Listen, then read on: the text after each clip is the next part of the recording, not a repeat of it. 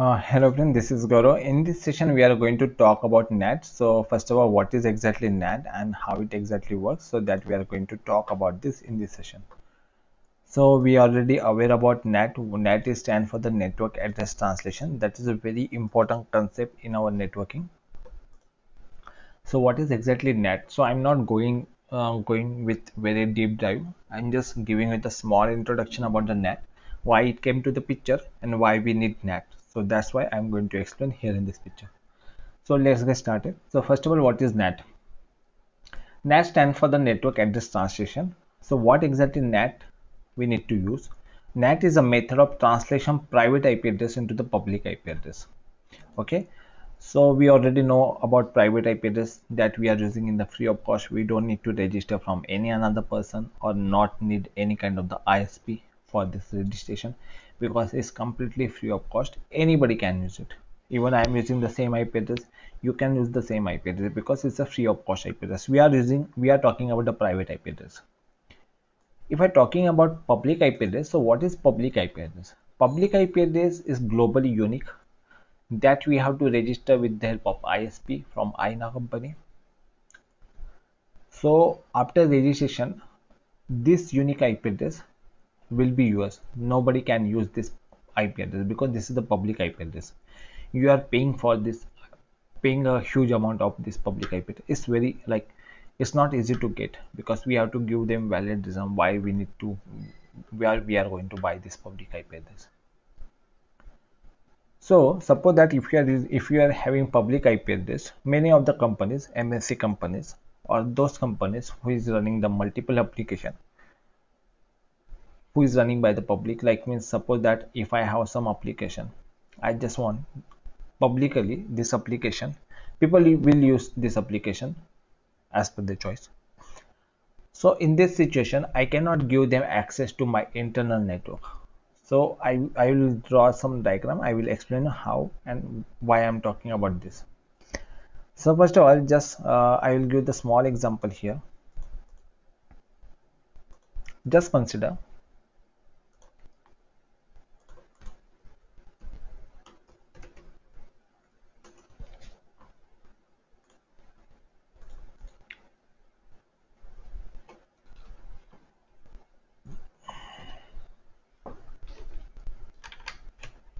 Just consider I have one LAN network. This is just consider this is ABC company. ABC's company having one LAN network. Inside LAN network, they are using the private IP address. As I told you, private IP address is completely free of IP address. We don't need to pay anything to anyone. So we are using private IP address here. Just consider I am using 1.1 sorry 1.1 1.2 1.3 1.4 uh, so just consider this network 192.168.1.0 this network I am using. Okay so my LAN network is connected to my router and my router is connected to the service provider. This is my ISP just consider here's another company the company name is XYZ so here is one LAN network. Even they are the same IP address network 192.168.1.0 it it uh, might be same because it's a free up free of cost IP address. Anybody anybody can use it. So they are using 192.168.1.1 sorry about my handwriting. My handwriting is not that much good. 1.2 1.3 and 1.4 so now you can see here both sides there is the same network. Even this router is connected to the service provider now what happened? Suppose that service provider is providing the services okay? Suppose that in abc company user 1.1.1 192.160.1.1 this user wanted to go outside for accessing google services. Just consider he need a google service. At the same time he also requested to the service provider for the google service. Means what happened first of all this guy abc company first user 192.168.1.1 he went to the service provider he went to the service provider he asked him for the google services. At the same time xyz company's 192.160.1.1 user he went to the service provider and asked for the google service. Now if i now we are going to talk about isp isp might get confused. Isp is thinking he is getting request from 192.168.1.1 at a two time. He's thinking the single person asking a request for two times. He's thinking like that because he don't know. Because he's only he he thinks because IP address is the same because single IP address is coming. But request is two coming. There are two requests is coming from ISP side. So ISP might get confused. ISP is thinking so I will provide Google services to this way.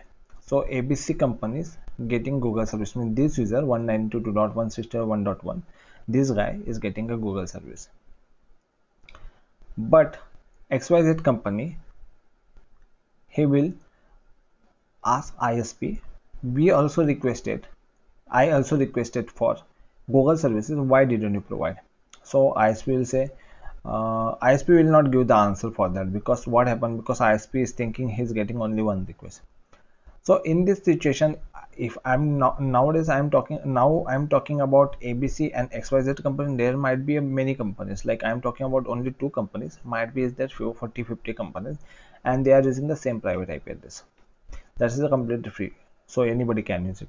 So this kind of the situation will happen because if there is no private IP, public ip address there is no netting so after that there is a case netting came to the picture. So what is the use of netting? Netting in the sense the public IP address translate into the sorry private IP address translate into the public IP address.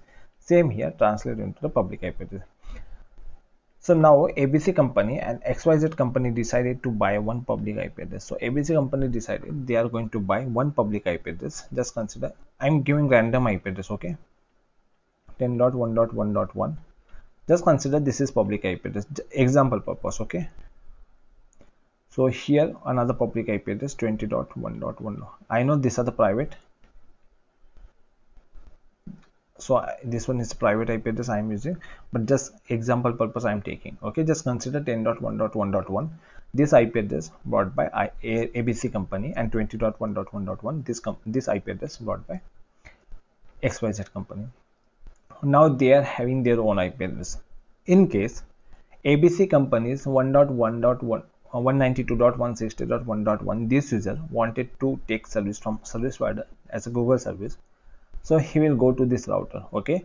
So what this router will do will configure netting on this router. So what this will have do any request coming from the private ip address he will translate this to the public ip address. What is his public ip address is 10.1.1.1 and he will send his request with the help of this ip address towards isp same thing it will be happen here in xyz company. Any request will come from the private ip address. It will translate to the public ip address.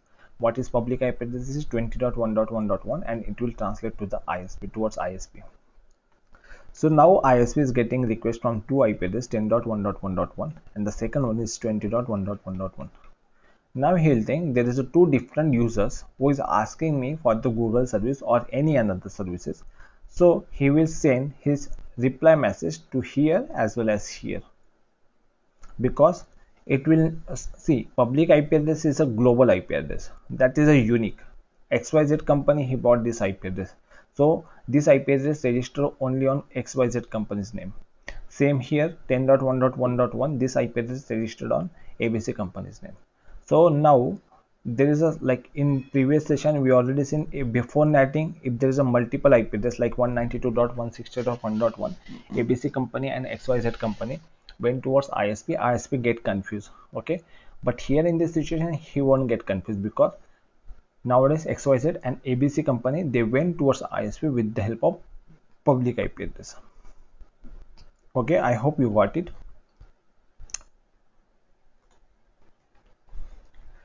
So NAT is a method translation of private IP address into the public IP address. Next thing, in order to communicate with the internet, we must have a public IP address. Without public IP address, we cannot do anything in netting. So we must have a public IP address. For netting, we have clarity about the private IP address and the public IP address. Okay, see now what happened? I use I use one IP address like 10.1.1.1 IP address. That is my private IP address. I use this IP address just for example purpose. Okay?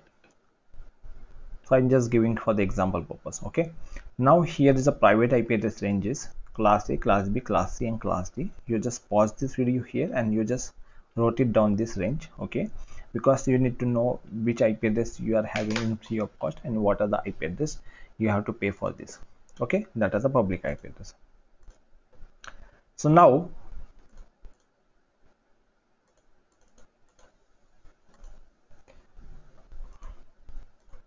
there are three types of netting static dynamic and the patting pat port address translation. These are the three types of the netting where we are we can perform. Okay so this is all about the netting. I just give the brief uh, small introduction about this. Okay in future if i get a time definitely i will explain i will do some practical. I will explain you in very depth way how exactly working what are the configuration we need to do what are the configuration we have to perform on router 1 and router 2 same as xyz company and abc company so thank you so much. Hope you like it. Thank you so much